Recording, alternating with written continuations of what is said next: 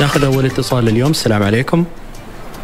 وعليكم السلام ورحمة الله وبركاته. يا مرحبا وسهلا حياك الله. من معانا؟ مع قيس الريامي من آه، الكلية المهنية بعبرة يا- أستاذ فيزياء. يا مرحبا وسهلا فيك الاستاذ قيس. سعيدين بسمع صوتك. حياكم الله وبياكم. طبعا آه، في بداية آه، الأمر نشكر قناة الشبيبة على بيروتها الطيبة واستضافتها اليوم لنا على هذا البرنامج لتمثيل قضية الكليات المهنية. طبعا آه، في بداية الأمر نحب أن نوجه الشكر آه، لكل من آه، ساهم في تحريك قضية الكليات المهنية.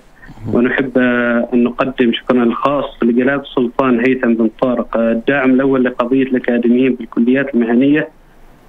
وذلك بعد أن أصدر توجيهات السامية بإنشاء جدول موحد يضم جميع مؤسسات التعليم العالي الحكومية في السلطنة. إثر مطالبات أعضاء الهيئة الأكاديمية.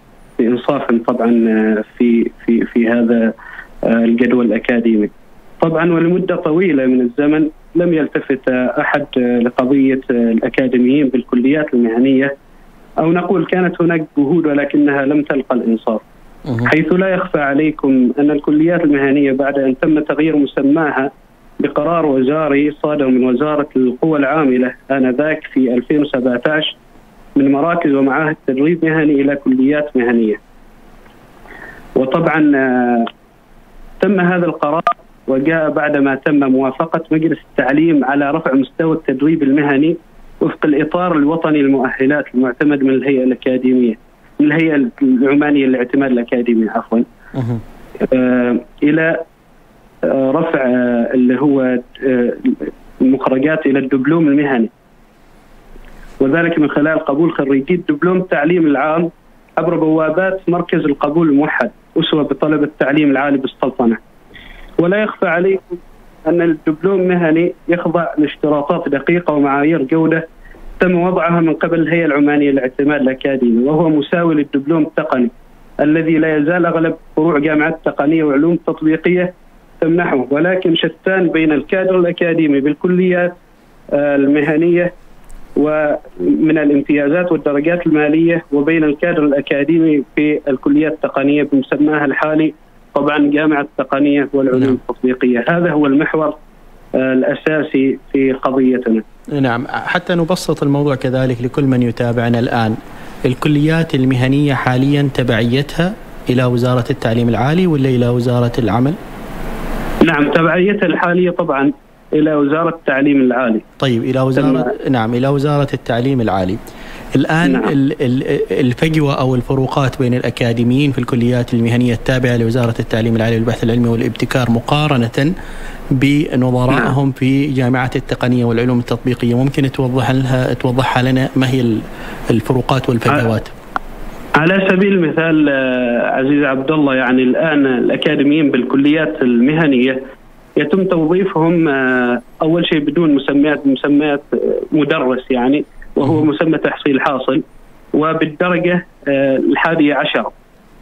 على حسب اللي هو الخدمة المدنية. بينما يتم تعيين ال- اللي هو على حسب مثلا ما ما شاهده يعني الأغلب في الإعلان الأخير الصادر من جامعة التقنيه وعلوم تطبيقية مساعد محاضر المؤهل المطلوب اللي هو البكالوريوس بدون أدنى خبرة بالدرجة السادسة، فشتان بين الدرجه السادسة والدرجة الحادية عشر.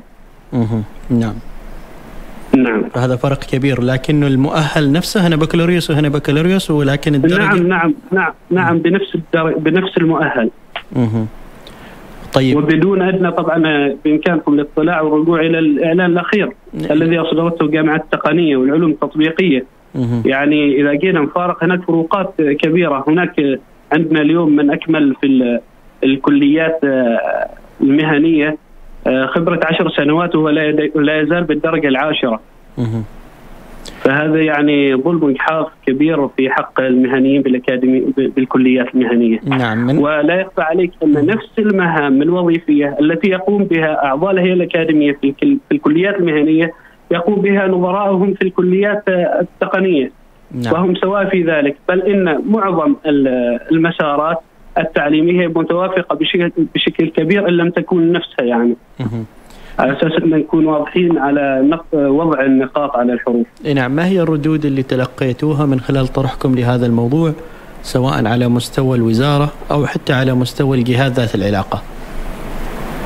طبعا الوزارة نشكرها طبعا ونشكر القائمين فيها بتقبلهم للموضوع ودعمهم للموضوع آه، آه، من رأس الهرم اللي هي وزير التعليم العالي وسعادة آه، الدكتورة منى القردانية الوكيل التدريب المهني وكذلك الدكتور خالد أبو سعيدي مدير العام لدائرة التدريب المهني.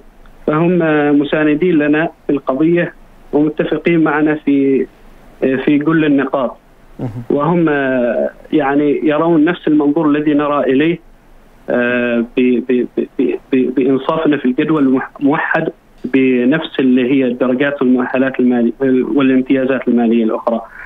آه، طبعا بمتابعتنا الموضوع من قبل اللي هو وزارة العمل آه، البعض اللي هو أعضاء الهيئة الأكاديمية ذهبوا إلى هناك يعني وقابل بعض المختصين من اللجنة المشكلة القائمة على هذا العمل آه، وذلك وفق الأوامر السامية بإنشاء جدول موحد. واتضح أن الجدول هذا الذي الذي يتم إنشاؤه يعني فقط موحد آه، شكلا. بينما يوجد به التصنيفات فلا نزال سنرجع سنعود إلى نقطة الصفر التي انطلقنا منها. لا يوجد هناك مساواة لا يوجد هناك عدل بين الأكاديميين في الكليات الحكومية آه، بالسلطنة نعم الآن التحدي الأكبر الذي يواجه يعني وجود آه، آه، معايير موحدة بين الأكاديميين العاملين في الكليات والجامعات في سلطنة عمان ما هو؟ هل هو تحدي الدرجات المالية؟ هل هو تحدي المخصصات؟ هل هو تحدي تشريعي تنظيمي؟ ماذا بالتحديد؟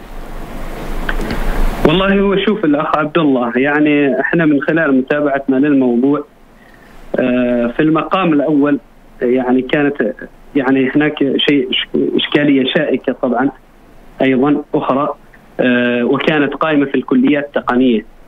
آه، والآن تم حلها يعني في الكليات التقنية. مسألة توظيف عقود الشركات نعم. لا زالت إلى اليوم قائمة في الكليات المهنية.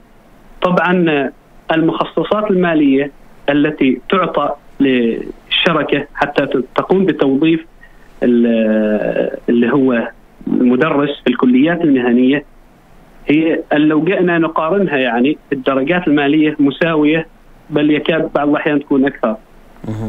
فليست هناك طبعا اعضاء أعباء مالية على كبيرة على الدولة إن تم إنصافنا في الجدول الأكاديمي لأنه يعني كما يقال هذا أساسا خارقه خارقه يعني. هذه النقطة، النقطة الثانية أنه هذه الشركات أساسا لو نظرنا إليها آه، ما قدمت أي أدنى شيء للموظف حتى تعطى هذا المبلغ. نظير توظيفه. حتى يعني لا دورات تدريبية لا إجراءات توظيف ولا شيء يعني ولا حتى متابعة إدارية وكل كل هذا تقوم به الكليات بنفسها والوزارة. فلا ندري لماذا إلى الآن هذا الشيء أول شيء مستمر. من المستفيد يعني من من هذا من اجحاف اللي هو الأكاديميين غير الشركات. فهذه القضية يجب أن يتم أول شيء حلها. طبعا عندما طالب الإخوان اللي هم الموظفين عن طريق عقود الشركات في هذا الموضوع تم ردهم إلى نفس المرد وهو إنه لا يعني إلى الآن لا يوجد جدول آه، مالي مخصص للكليات المهنية. آه، فبعد يعني نعود إلى النقطة إنه تمت استمرت اللي هي المطالبات ثم جاءت التوجيهات بانشاء جدول موحد إثر هذه المطالبات. إحنا اليوم يوم لكن الجدول, الجدول الموحد يشملكم ولا يشمل فقط الجدول الموحد نعم الكليات التقنيه والكليات التطبيقية؟ نعم هو الجدول الموحد يشملنا لكن الإشكالية الحاصلة على حسب آه الآن ما جاء ما جاءنا يعني في الجدول الموحد إن المعيار أول شيء تم لم يتم وضعه موحد كما سمي موحد وإنما تم وضع فيه تسميات على حسب تصريح بعض المسؤولين آه القائمين على هذا. طبعا ما هو المعيار الذي تم الاعتماد عليه في التصنيف على حسب إفادة المسؤولين أن المعيار الذي تم اعتماده في التصنيف هو درجة مخرجات أو مؤهل مخرجات المؤسسة ذاتها. وهذا طبعا معيار باطل إذا جئنا نشوفه يعني.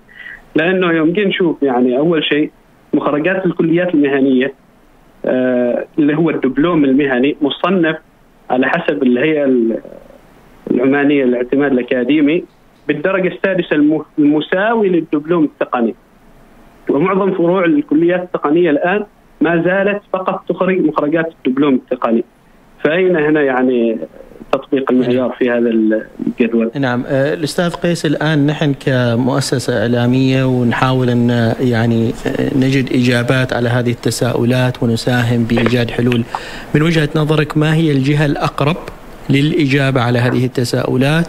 وكذلك لإيجاد حلول تنصف آه، يعني الأكاديميين في الكليات المهنية. طبعا الجهة الأقرب لإيجاد هذا الحل هي بالتشارك في اللجنة الممثلة لإيجاد أو لإيجاد الجدول الموحد من آه، وزارة التعليم العالي واشراكها كعنصر أساسي في هذا آه، في هذه اللجنة. بالإضافة لأنه على حسب متابعة الموضوع لم يتم اشراكها في بشكل أساسي. بالإضافة إلى آه، وزارة العمل ووزارة المالية. هؤلاء هم الذين كلفوا بهذا على حسب توجيهات الساميه نعم. آه وطبعا لو رجعنا ونظرنا إلى المادة 15 من النظام الأساسي للدولة العدل والمساواة وتكافؤ الفرص آه الوظيفية تكفلها الدولة فأين هذا تطبيق هذه المادة من النظام الأساسي للدولة إذا جئنا إلى هذا المنظور طيب. طبعا يعاني معظم الأكاديمية اليوم في الكليات المهنية من إحباط ومن آه، احتراق وظيفي كما يسمى في في المصطلح الدارج بسبب هذا الإجحاف وهذا الظلم. فإذا كنا كنا إحنا آه، ننظر إلى توجهات المقام السامي من تطوير منظومة التدريب المهني على وجه الخصوص فنجد في هذا قرارات يعني المجحفة إحنا ما جالسين نطور جالسين نتراجع للخلف يعني. نعم لكن أنا أستاذ قيس يعني إذا تسمح لي أرى إنه من الجيد إن نحن نتابع وزارة التعليم العالي والبحث العلمي والابتكار لأن هذه آه، وزارة ممثلة في مجلس الوزراء والكليات المهنية الآن تحت إشرافها وبالتالي إذا كان مثل هذه التحديات ومثل هذه الإشكالات تؤثر يعني آه، على آه، بشكل مباشر أو غير مباشر حتى على جودة مخرجات يعني هذه الكليات بعدم استقرار كوادرها والأكاديميين اللي فيها. بالتالي يعني هذا الملف يجب آه، أنه يقود أحد وأنه يتحدث باسمه أحد وأنه يخاطب الجهات الحكومية أحد حتى نستطيع فعلا يعني إنه آه، نجد آه، حلول فإن شاء الله نحاول إن يعني نتواصل مع الأخوة في وزارة التعليم العالي ويخبرونا إذا كان هناك ثمة حراك يعني في هذا الملف بإذن الله. طيب جزاكم الله خير. يعطيك العافية أستاذ قيس شكرا جزيلا لك. عافاكم الله. الله يسلمك اذا هذه التفاصيل اللي ذكرها الآن الأستاذ قيس أحد الأكاديميين في الكليات المهنية ويبدو إنه آه، يجدوا في فجوة وفي فارق بينهم وبين الأكاديميين في الكليات الأخرى أو حتى في الجامعات مثل جامعه التقنية والعلوم التطبيقية. ولما نقول جامعة التقنية والعلوم التطبيقية بحكم انه الكليات المهنية كانت وكأنها تتكامل مع الكليات التقنية وبالتالي يجد الأكاديميين أنفسهم يعني متقاربين مع أقرانهم وزملائهم في جامعة التقنية والعلوم التطبيقية. ولكن بحسب المعطيات اللي ذكرها الأستاذ قيس هناك فارق يعني يبدو كبير بين التعامل مع أكاديميين في جامعة التقنية والعلوم التطبيقية والتعامل مع أكاديميين الكليات المهنية من حيث طبعا الدرجات المالية والتسكين وغيرها.